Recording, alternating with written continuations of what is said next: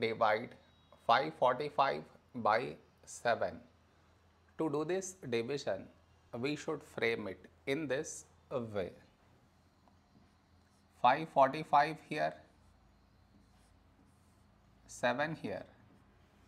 This is your step 1. Next, here we have 5, here 7. 5 smaller than 7. So we should take two numbers 54.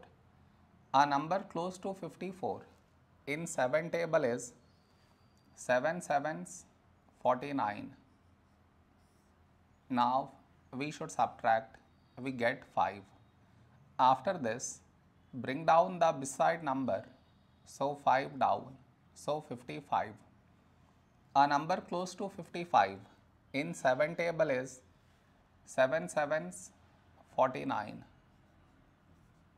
Now we subtract, we get 6. After this, no more numbers to bring it down. So what we do is we put dot take 0 so 60. A number close to 60 in 7 table is 7 eights 56. Now we subtract we get 4. After this we already have the decimal so directly take 0 so 40. A number close to 40 in 7 table is 7 fives 35.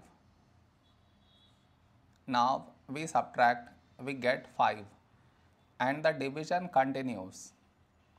It is enough if we do up to 2 decimal places